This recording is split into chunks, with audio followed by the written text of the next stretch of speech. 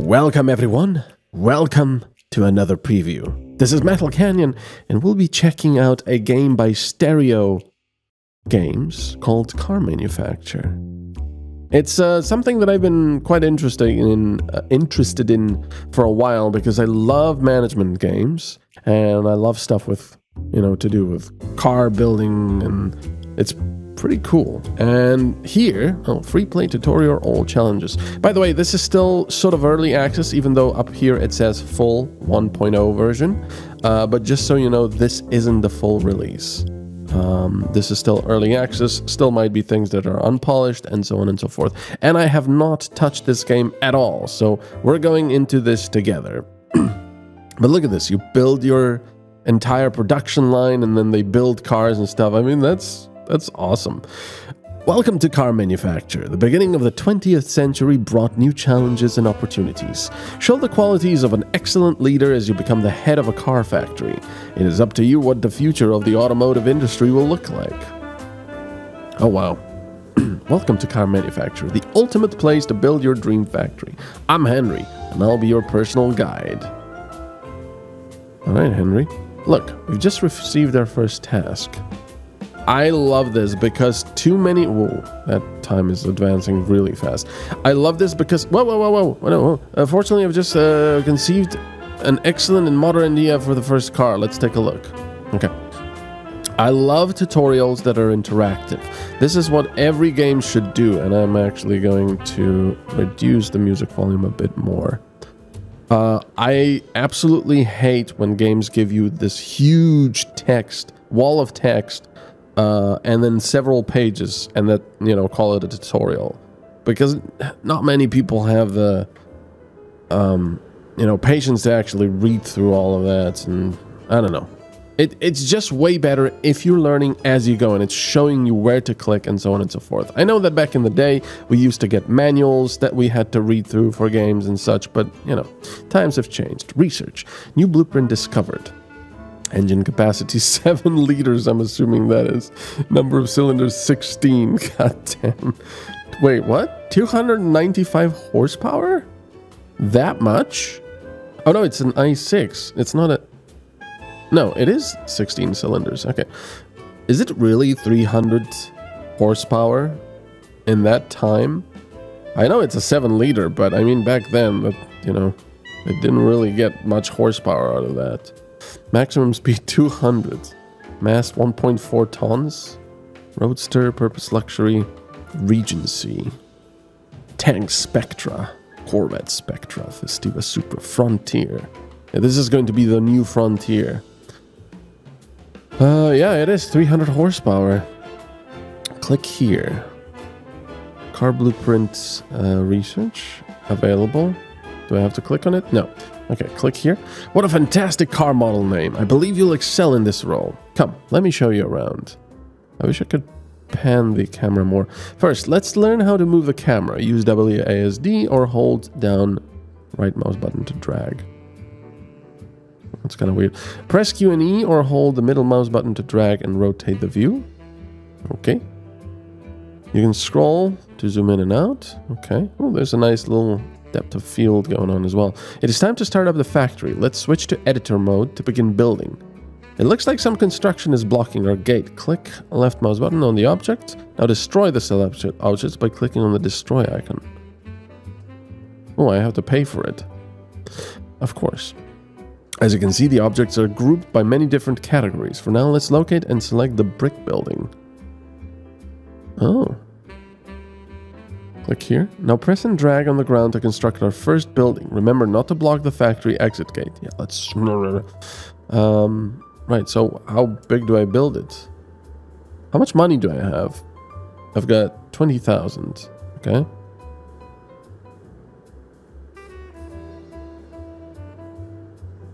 Okay. Do I have to make more?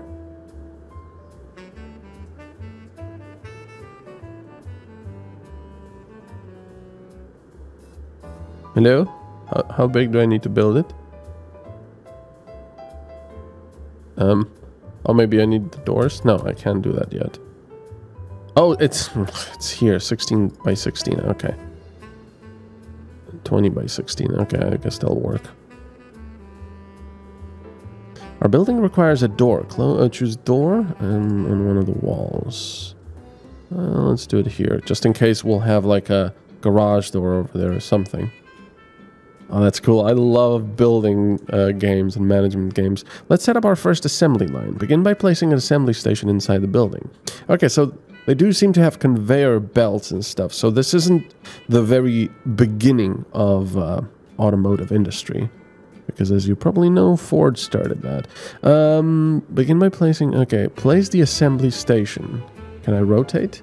Click to place, click and drag to rotate. Oh, Z and X. Okay. I don't know what I'm doing, but there you go. You also need a gate to allow the cars to be driven outside.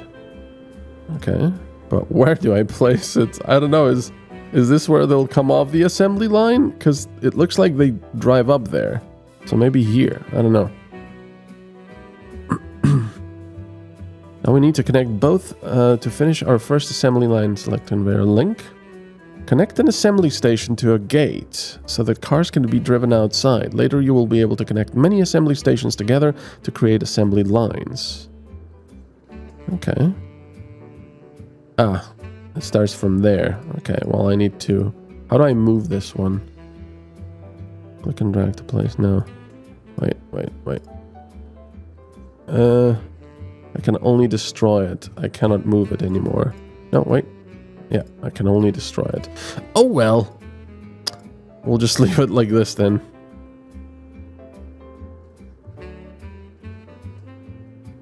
Whee! Oh. I think, uh... Yeah, that, that, that wasn't the best. Well, this is the tutorial, so I think we'll be fine. How do I destroy this? How do I destroy it? Hold on. Uh... Uh... There's a lot of stuff here. Um, to remove. Okay, there we go. Okay, there we go. But I have to move the doors as well. Well, destroy the doors, I guess. And you know what? Destroy this as well. I'm just losing. I'm hemorrhaging money. Okay, let's try this again. Let's, uh, whoa, whoa, whoa, whoa. Now let's designate the storage zone. We're going to need it to store resources needed for the production. Ah, I'm kind of... Gate. Okay, let's... This is going to be the exit. And then... Okay, we're going to have it like this. Okay, so we got half of our money back. There we go. All right, now we need the storage, like it said. Um, four by four. Like so. The storage pallet is, uh, designates a place from which workers pick up and drop resources. Every type allows for various number of resources to be stored. Storage pallet. Two pallets, okay.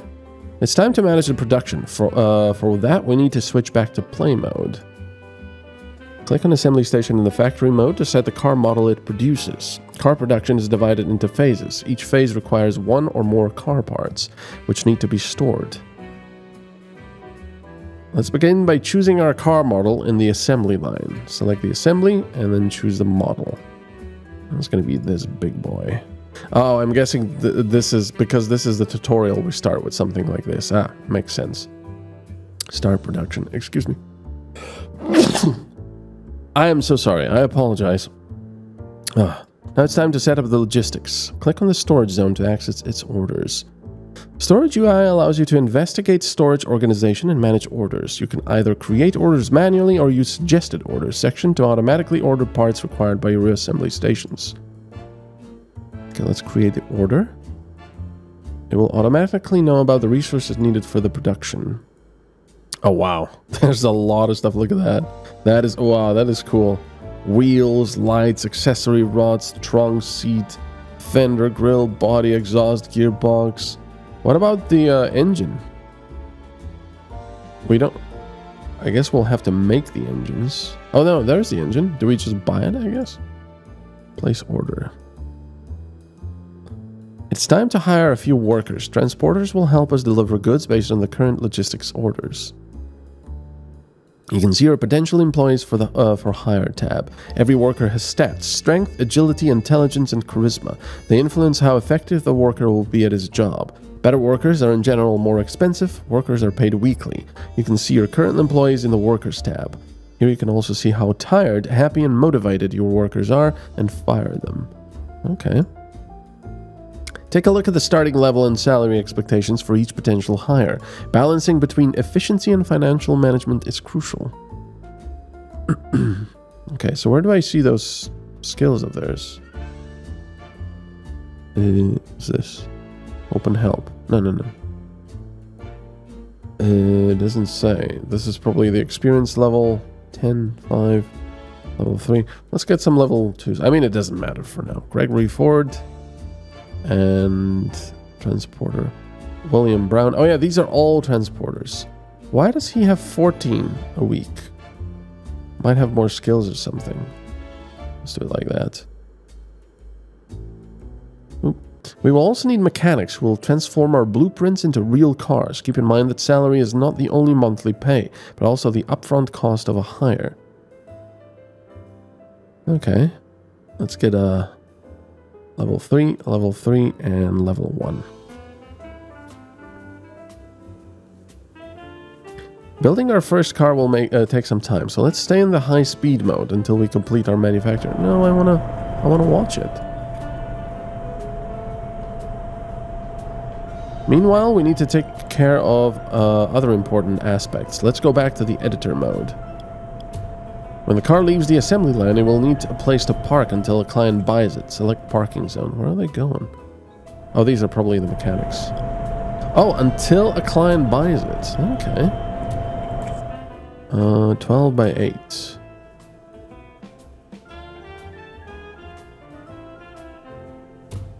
There.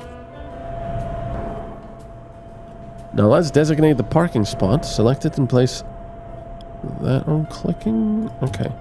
Oh, wow. Okay, I was not expecting that to be so big.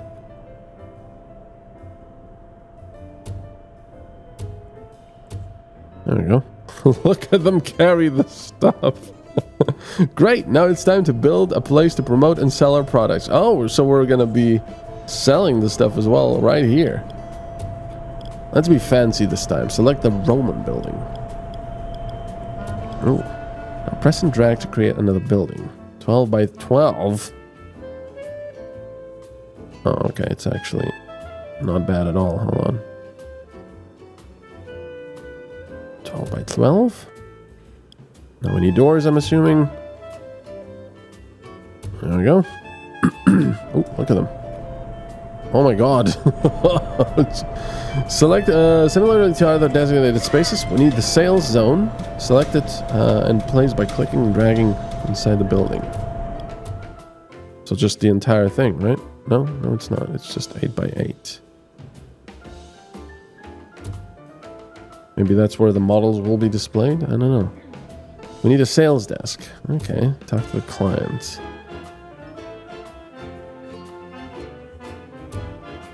There. Just the one. In order to start promoting our car, we need to place the sales slots. Ah, there we go. And then we select that and probably click here. Oh, look at that. It's taking shape. There's the fuel tank. Click on the sales zone to open up the sales and promotion settings. Clients will now come to your factory looking to buy a car. Clients usually have a specific model in mind, but a talented salesman can convince them to buy a similar model. There is always a chance that a sale will fail. Promote your cars or lower the price to sell more. Go to sales screen for detailed options. Select our car model. It can be designated to only one sales slot. Look at that thing. And price setting shows the total price of parts used in a single car assembly. Let's increase the margin to 90%. Hell yeah. In the advertisement tab, we can manage current and available promotion methods. I don't know what year this is supposed to be. Oh, it's 1929, so you're paying 13 th Whoa, these are going to be some wealthy, wealthy customers coming in. 1329 was a lot of money. A lot of money. Um, click activate. Our first car advertisement. Door to door. okay, popularity tab. We can delve into details about popularity of our product. The higher the popularity gain, the more clients will appear. To begin sales, we must introduce our car to the market. Release. Look at that, the engine is in. Now we need a proper salesman. Hire one in the workers tab. Alright. Let's wait until we make our first sell. Why is there only one mechanic working on this though? Is it, it can only be one mechanic per car? I don't know. But now I see that I should have placed, you know, I should have rotated this around or placed it on the right. So, uh, oh, I think there's customers coming. Frontier. Profession taxi driver? How are you going to afford that? Welder. Journalist. How are you guys affording this car? Yes, yes, this car is most lovely. It's Definitely buy it. Looks like a rocket ship. It's got 16 cylinders. That's 16 more than your house has. There's also 7 liters of capacity, which is very, very ecological, uh, but also very powerful. You careful cigar? That's probably what the um, conversation is about let's let's jiggle about a little bit while watching the car. Oh, maybe they're actually waiting for the first car to be made. There's the two mechanics working on it. Okay. Uh, popularity is going up. I don't know what this exactly means. One, three, four, five. Is this how many cars are going to be sold? Or, I don't know. Release dates, advertisements, trends, popularity gain, two. Okay.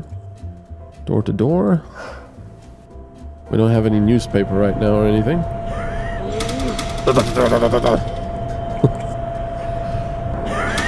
Wait. Oh, that's cool. They actually... The parts they pick up, they actually put on there. Look at that. Oh, I love that. I love games that do that. Oh, that is cool. Yeah, that is really cool. Now the wheels or something? Yep, wheels tiny, tiny wheels. And the spare? No, the right back. Is this finished? Where do we? Where do I see the progress of this car? Uh, there we go, 88% completion.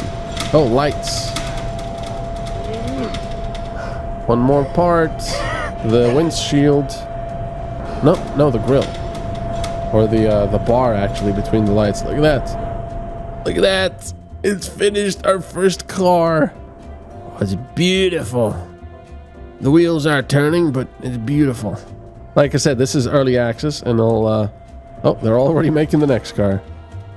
he just jumped in. Nice. You could park it a bit nicer, man, Charles, but hey, that's okay. All right, so now. Yes, is um, I'm I'm driving a car that goes below 200 kilometers per hour right now. Oh, yes, sir, sir. You shall be able to. Ooh. Depressing. This place seems depressing. Oh. Well, la da, get out of there. Get out of there. Don't show your face here again. Yes, you see, I'm looking at that car and it's so good. It's so good, I want it. Oh, he actually sold it. We did it! We established our first happy customer. Take a look at the technology tree. There we can invest our hard-earned money to advance our factory. Ooh, it's very important for your factory to progress technologically. Click on the Tech Tree button to open the Tech Tree screen. By buying technologies, you will improve different aspects of your factory and unlock new features. Some technologies can be bought more than one time, giving more benefits but increasing in cost for each level. Oh, wow. Increase the maximum number of employees you can hire. No, I want to see the car. Okay, bye. Ooh, there he is. Happy customer. Wheels are clipping through, but that's okay. It's early access. As the time passes, our products are uh, becoming less and less popular on the market. We need to invest into research to keep up with the other competitors. Let's begin by creating a research zone in either one of our buildings newly created. Six by six. Okay, so I'll probably need more. Yeah, I'll need more. Now let's make it here then. I think I need to shut off VSync or something because it's doing that jittery motion. The research blueprint slot is necessary in order to set up current research project in the research zone. Jeez, my English is just horrible for some reason. The research desk is one of several objects that allow our researchers to develop new blueprints.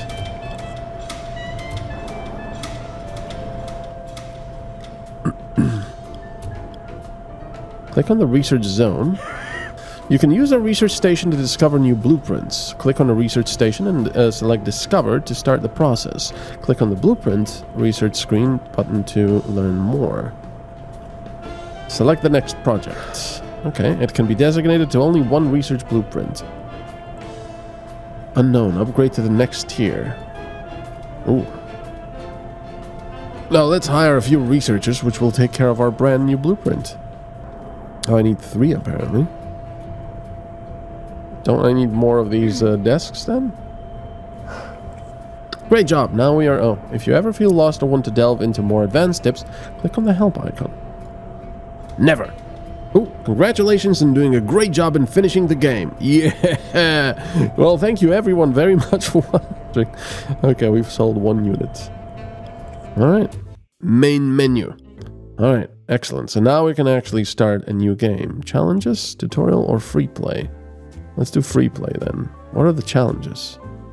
Remarkable beings from a spacecraft who reveal themselves as collectors keen on acquiring high quality cars for prices surpassing those of any terrestrial client. However, this exceptional chance carries significant risks. Not meeting their collector specific demands might lead to your employees and warehouse goods disappearing. You are represented with an unconventional engineering challenge, a compact car that's been ambitiously equipped with a massive V8 engine. The vehicle's power to weight ratio is off the charts, making it a beast on the track but also dangerously prone to tipping over. Your task is to navigate this beast through a demanding test track, filled with sharp turns and a variety of obstacles designed to test both the car's limits and your driving skills, so you can actually drive things here. That's cool. Okay, let's do free play for now. Um, Maxima, Mondial, Volkscart, Miata, Maxima Prism. Ooh, I like that. Rialto, Love, Diamante, Sanos, Sable. Oh, I like Sable as well. No, you know what? It's gonna be Saber. Select logo. An angry owl. It's interesting. It's like a Citroën, a Volkswagen type thing. Kind of like this one. I wish you could create your own uh, by, you know, putting various bits and pieces together. This one is kind of cool as well. It's like a modified Toyota. Uh, I like this one, but I don't like the lightning. Let's let's just do it like this. Indianapolis, Minneapolis, Milwaukee, Detroit. I mean, we have to do Detroit, right? Wait, everyone has... Oh, with its rich motorsports history, Indianapolis offers a compact space with no expansion, challenging players to maximize efficiency within a limited area, ideal for those seeking a focused start. Minneapolis offers a moderate size and one expansion uh, plot, suitable for players seeking balanced growth. Milling industry background. Milwaukee, known for its manufacturing legacy, Milwaukee provides the largest area with three extra plots for growth, perfect for ambitious players aiming for extensive operations. Detroit, synonymous with the auto industry, provides a medium space and one plot for expansion. Okay, so it's just there's no other things. Balanced gameplay experience, strategic management, Chicago, looking for urban growth and historical depth. Let's do Chicago. Why not? Starting year 1900. You can go up to 1960. Technology tree unlocked. Bankruptcy. Okay. Trader orders, random encounters, competitors. Interesting that we cannot change this. Create game. Loading. Okay, here we go. First of all, we're going to pause the game. And we've got things there. That's cool. That's also a big area. Yeah, I'll need to uh, I'll need to switch off VSync. I think in a few games now it seems that uh, VSync has caused scrolling and stuff to be stuttery for some reason. I don't quite understand why, but there you go. The dawn of the 20th century heralds a realm of unprecedented challenges and opportunities. Exhibit the traits of an exemplary leader while assuming the role of the director of an automobile factory. The future of the automotive industry rests in your hands. And of course, my viewers, the decision to watch more of my videos rests in your hands as well. Or else. Please? Please? Anyway, yeah, thank you very much for watching. I think we're going to continue this. I quite like... I love the idea. I might actually turn this into a whole Let's Play. And, um, yeah, we'll see. So thank you very much for watching. A big thank you to my Patreons. And I'll see you all next time.